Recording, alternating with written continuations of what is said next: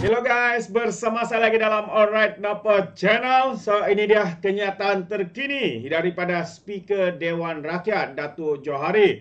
Ya, apa sebenar status dan apa perkembangan status terkini ya ahli parlimen bersatu yang telah memberikan sokongan kepada Perdana Menteri ataupun Kerajaan Perpaduan. Kenapa sahabat semua kalau kita lihat beberapa minggu yang lalu, dua minggu yang lalu, bulan yang lalu, pemimpin-pemimpin daripada Bersatu mengatakan mereka telah menyerahkan surat, menghantar surat untuk mengosongkan kerusi ya, uh, enam ahli parlimen yang menyokong Perdana Menteri ini.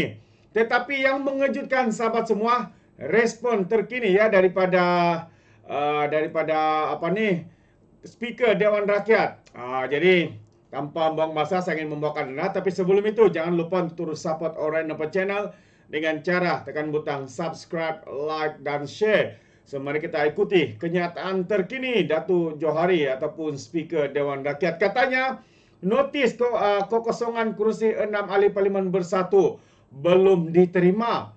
Belum diterima sahabat-sahabat semua. Jadi apa yang berlaku sebenarnya? MP macam mengatakan telah pun uh, dan akan menyerahkan sepanjang mungkin uh, surat ataupun notis kekosongan kerusi enam ahli parlimen bersatu ini. Begitu juga dengan setiausaha uh, parti bersatu. Tetapi hari ini jawapan yang diberikan oleh uh, speaker Dewan Rakyat katanya mereka ya uh, parlimen ya belum menerima notis untuk pengosongan itu. Jadi kalau kita lihat kenyataan penuh daripada Tan Sri Johari Abdul, belum katanya belum menerima sebarang notis rasmi daripada mana-mana pihak berhubung kekosongan kerusi membabitkan enam ahli parlimen bersatu yang digugurkan keahlian mereka dalam parti bersatu baru-baru ini.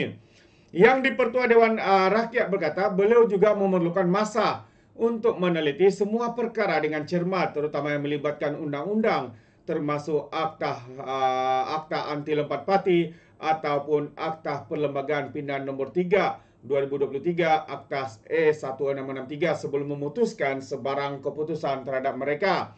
Katanya pertamanya pada masa ini belum ada lagi notis dihantar. Jadi apa berlaku di luar itu pada saya adalah noise dan selagi saya tak menerima secara hitam putih apa yang disebut oleh parti ya apa tindakan oleh parti terhadap mereka saya rasa itu bukan bidang kuasa saya. Saya tidak harus masuk campur katanya. Yang kedua, saya ambil sikap bahawa mereka mungkin ahli parti tetapi apabila mereka mengangkat sumpah di depan saya untuk menjunjung perlembagaan dan tak setia kepada Malaysia di hadapan saya, jadi saya harus mengambil tanggungjawab untuk mempertahankan kebebasan dan juga hak parlimen katanya. Beliau berkata demikian sebelum dia melawat Kyoto State Guest House yang juga sebuah penginapan rasmi untuk tetamu negara bagi Jepun dengan Johari turut diberi penghormatan untuk menginap di situ. Jari kini dalam rangka lawatan rasmi lima hari bersama dengan delegasi Parlimen Malaysia ke Jepun. Ia bermula Isnin atas undangan Speaker Dewan uh, Perwakilan Jepun Fukishiro Nakaga, Nuka, apa ni? Nukaga. Susah mau sebut. Jadi turut menyertai delegasi itu ialah ahli majlis, ahli jawatan kuasa pilihan khas, ahli antarabangsa yang juga ahli parlimen Bayan Baru, Sim Zazin, ahli jawatan kuasa pilihan alam khas alam sekitar sains dan perdagangan Vivian Wong, Sandakan dan ahli jawatan kuasa pilihan khas pembinaan negara bangsa, pendidikan dan pembangunan sumber manusia Datuk uh, Samsul Kahar, Muhammad uh, Muhammad Deli, Jempol. Johari berkata sebagai yang dipertua Dewan Rakyat, beliau akan mengambil tanggungjawab untuk menilai setiap tindakan wakil rakyat sebagai ahli parlimen dan bukan ahli mana-mana parti. Untuk saya mengambil tindakan katanya, saya mesti berhati-hati saya mesti mendalami segala-galanya semua aspek sebab apa juga keputusan yang saya buat bukan saja untuk memberi kesan kepada ahli parti atau ahli ahli parlimen tetapi juga negara. Tambah lagi saya mengambil sikap amat berhati-hati serta cermat dan selagi saya tidak yakin dengan keputusan yang saya buat itu saya, saya tidak akan buat dulu katanya. Saya amat berhati-hati dengan bukan saja undang-undang tapi moral dan segala uh, segalanya saya akan uh, saya kena pastikan bahawa tindakan saya itu betul dan saya tidak mau dipersalahkan atau rasa bersalah apabila saya tidak berada di jawatan itu nanti katanya. Sebelum ini enam ahli parlimen bersatu digugurkan keahlian ya serta merta selepas gagal menjawab surat arahan bertulis Majlis Pimpinan Tertinggi MPT Parti Bersatu untuk menzahirkan ikrar tak setia kepada parti itu.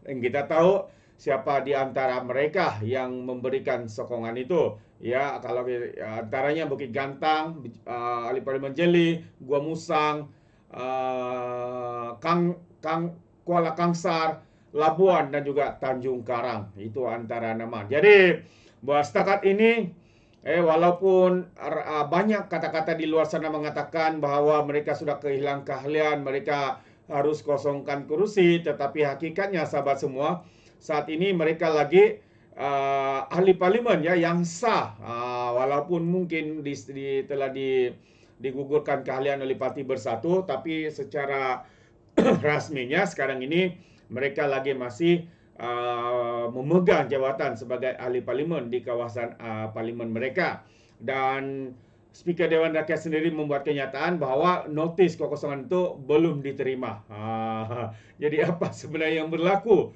Kita dengar daripada pihak bersatu pemimpin-pemimpin mereka, kononnya uh, uh, surat kekosongan itu di, telah dihantar, tapi sehingga ke hari ini ya uh, belum ada sebarang penerimaan ya surat daripada uh, parti bersatu ya, yang ditujukan kepada uh, Speaker Dewan Rakyat.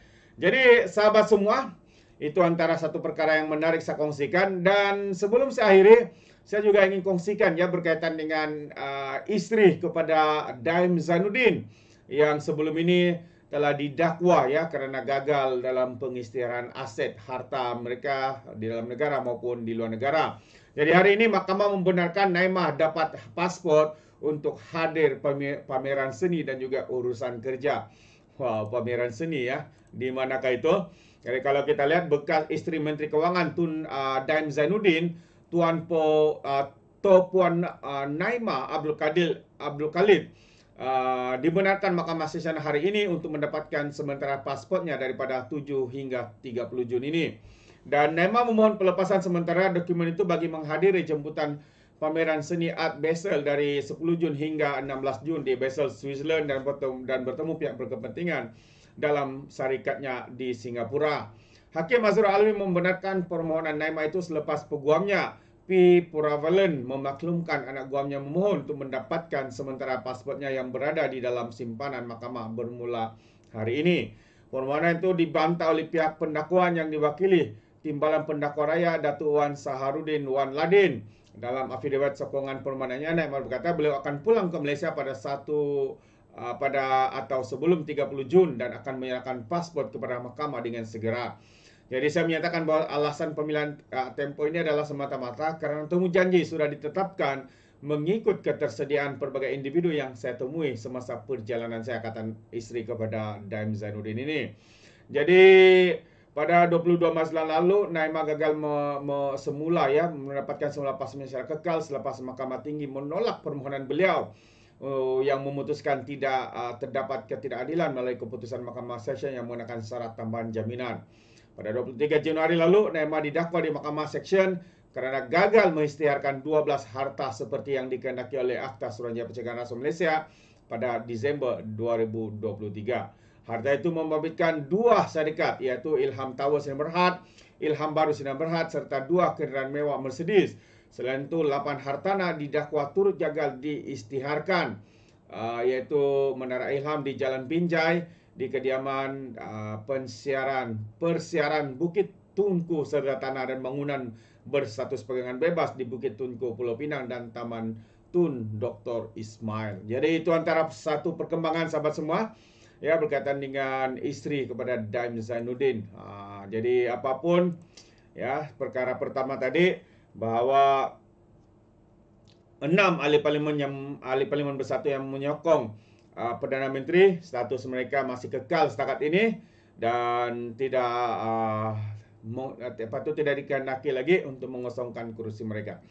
Jadi terima kasih apa pandangan anda sahabat semua anda boleh berikan dalam ruangan komen tapi ingat komen dengan cara berhemat. Jadi izinkan saya untuk mengundurkan diri dan seperti biasa peribahasa mengatakan tak apa pencangkap dua ton keinginan dalam bahasa Melayu tepuk dada tanya selera. Sekian saja daripada Alright Nampak Channel. Saya kita berjumpa lagi. Bye-bye.